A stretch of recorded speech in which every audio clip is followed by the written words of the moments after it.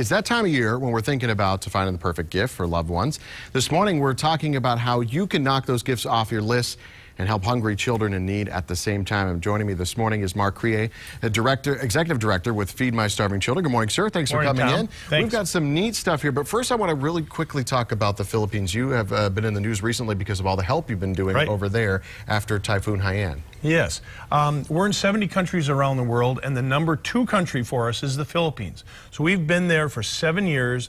We have uh, the best partners there on the ground that have been there. We have thousands of missionaries and folks spread out throughout the Philippines. So we just simply have the ability to ramp up our feeding programs there. So we literally within 24 hours had food. We had 3 million meals on the ground in the Philippines after the hurricane or on the water on the way there. So we could simply amplify that. And right now we just got a lot of activity trying to get more volunteers in, send more food there. They're requesting uh, over 8 million additional meals uh, because it's just a desperate situation there. So money helps out your organization, of course, but another way to give money and, instead of just sending a check is, is to do it this way. And we've got some of this uh, stuff here that is available on your website, and um, you can buy some of these things, and the proceeds will go towards Feed My Starving Children. And they're actually made by some of those people, That's correct? right. These are made by um, people around the world uh, that we help feed and serve, and this is this is a livelihood for them that they can get on their own feet.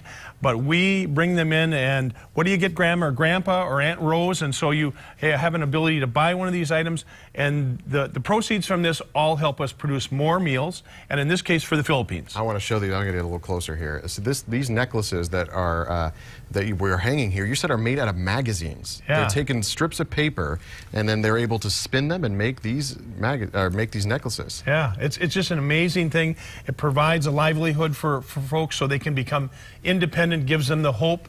Um, but uh, in addition to that, it helps us produce more meals. All right, so let's talk about that. We can go to, to your website. You can purchase some of these things. That's where You the money go, can go. Yep, you can go on there. You can stop in one of the sites. We have three sites here in the Twin Cities in Eagan and Chanhassen, Coon Rapids.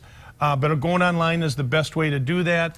Um, and also come in and volunteer. Give us two hours. It will be the best two hours this holiday season. I guarantee it. All right, thanks for coming in this morning. Another great Minnesota organization helping Yep. people out. We've got more information, as we mentioned, on Feed My Starving Children and their holiday gift catalog. All the stuff that you saw here, it's on our website at kstp.com under links.